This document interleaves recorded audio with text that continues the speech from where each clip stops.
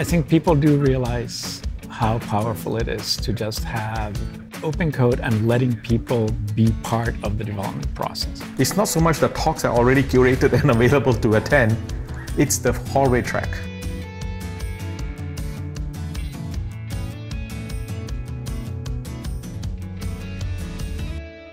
The biggest value I get out of coming to an event is direct interaction with people. Well, we've had two developers, a big long email thread trying to figure out to solve a really tough technical question, and they both were here. I'm like, okay, you two, we're gonna go to lunch, we're gonna sit down, and we're gonna work it out. Sometimes some things only can be best done in person.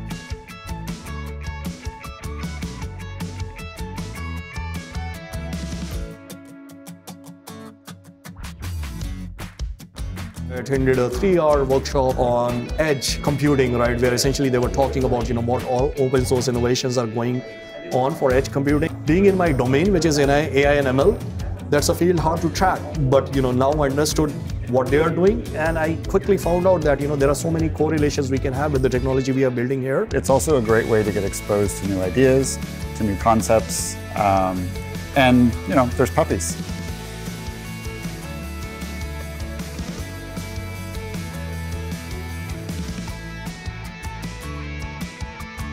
Angela and her team do a fantastic job of providing many, many opportunities to socialize, to work together, to kind of communicate uh, our ideas, right? Whether it's in diversity or community or technology or leadership.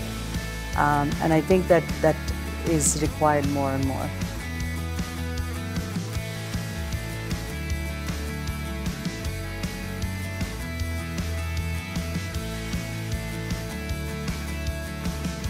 Meeting people, talking to people, connecting with old friends, making new friends.